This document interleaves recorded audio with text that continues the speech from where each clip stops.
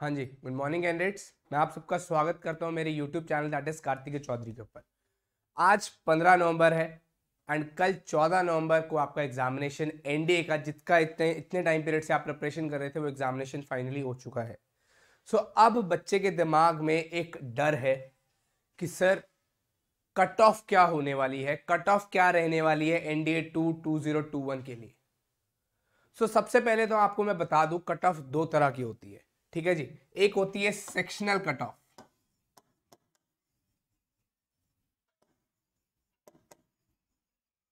और एक होती है ओवरऑल कट ऑफ़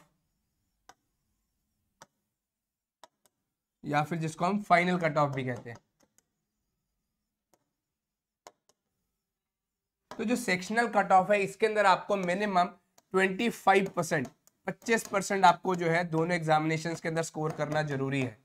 मैथ्स के जो सब्जेक्ट है, उसके अंदर पच्चीस परसेंट एंड जो जीएटी का पोर्शन है, और जीएटी के पोर्शन के अंदर मैं बात करूँ तो English physics chemistry history polity geography इसके अंदर अलग अलग नहीं काउंट होता जीएटी जीएटी मतलब पूरा जीएटी उसको पूरे जीएटी के अंदर आपके 25 परसेंट होने चाहिए।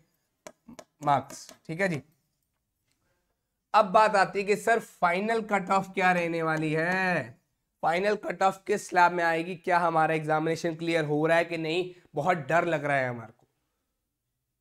तो मैं आपकी जानकारी के लिए बता दूँ। देखो मैथ्स का जो सेक्शन आया था इस बार का, वो थोड़ा डिफ़िकल्ट था। अगर हम प्रीवियस एग्जामिनेशन से क्लियर कब कंपेयर करें तो इस बार का जो मैथ्स का एग्जामिनेशन था, वो डिफ़िकल्ट था। और अगर हम वही जीएटी के पोर्शन को कंपेयर करें तो जीएटी का पोर्शन जो है, वो ईजी था। तो दोनों को मिलाकर जो कॉम्बिनेशन अगर जो निकल रहा है, जो निचोड़ बन रहा है तो उससे हम जो एक्सपेक्टेड कट ऑफ़ निकाल सकते हैं दैट इज़ अराउंड 320 टू 340 ठीक है जी?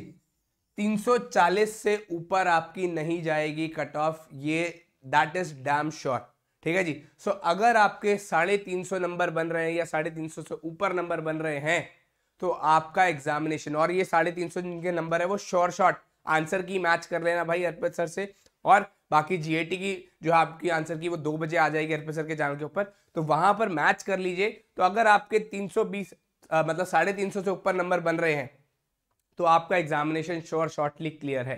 तो आपको कोई नहीं रोक सकता एनडीए की एग्जामिनेशन क्लियर करने से। सो so, 320 से 340 की है जो हमारी एक्सपेक्टेड कट ऑफ़ है लेकिन हम फिर भी सेफर साइज़ के लिए कहूँ तो साढ़े तीन सौ से अगर आपके ऊपर आ रहे हैं या साढ़े तीन सौ नंबर बन रहे हैं तो आपका एग्जामिनेशन क्लियर है।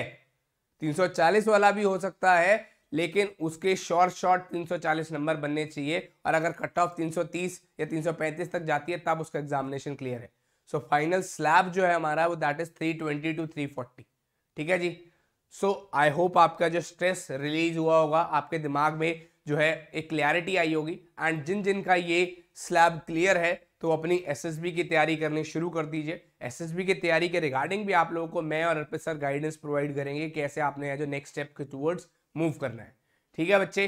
सो आई होप आपको आज की वीडियो पसंद आई हो। पसंद आई तो लाइक ज़रूर करिएगा। एंड अगर आप चैनल के ऊपर नए हैं तो चैनल को सब्सक्राइब करना मत भूलेगा। तो आज के हमारी वीडियो में बस इतना ही।